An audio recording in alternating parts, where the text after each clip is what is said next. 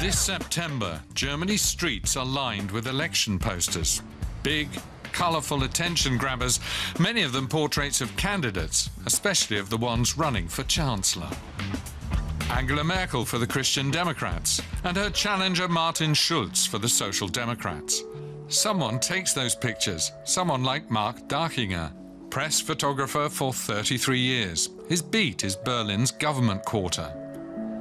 His most frequent subjects are politicians from every party.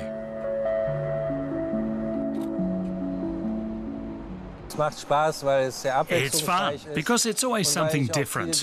And because I get to see lots of things I wouldn't see otherwise. You know, I get to poke my nose into places normally off limits.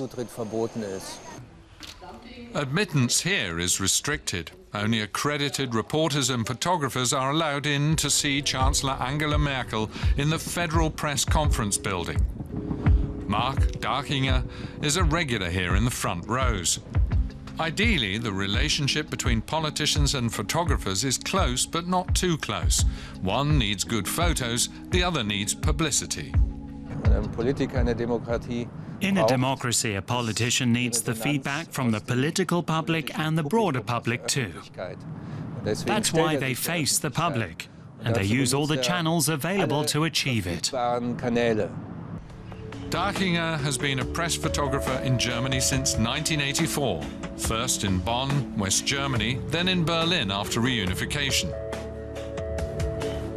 He's seen politicians arrive, rise high, and depart again, taking pictures the whole time. Private photos are rare, and politicians give their public appearances the desired spin. There are shots where they jump right into the camera with both fists. And then others where they appeal indirectly to the voters or look more to the future. It hasn't always been the case that politicians knew to look right and left or up and down to vary the angle a little.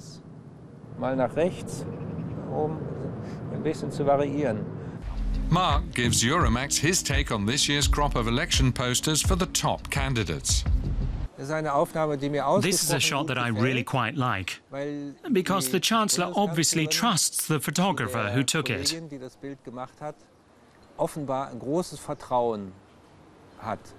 What Martin Schulz is showing us is that he's a likable guy and probably somebody who's up for a bit of fun now and then.